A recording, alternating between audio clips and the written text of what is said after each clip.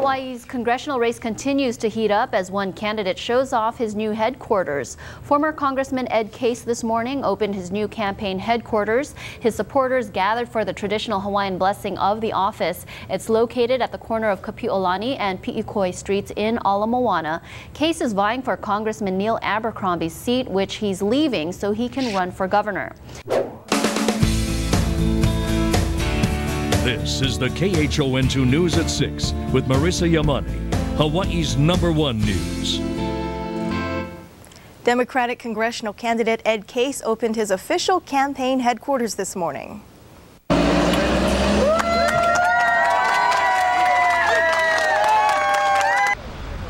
Dozens gathered at 1314 Kapi'olani Boulevard to celebrate the headquarters grand opening.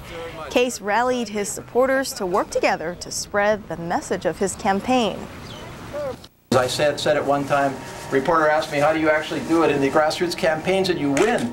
When, you, when you're, you're outspent, you're outpolled, you're out consulted, you're out financed, everything else, and yet you win these campaigns. And I say because we go out there and we plant a little bit of grass in each part of that lawn, and pretty soon, by election day, it grows together. Case will run against fellow Democrat Colleen Hanabusa and Republican Charles Djou to fill Neil Abercrombie's vacant seat. The soonest the special election could take place is May 1st.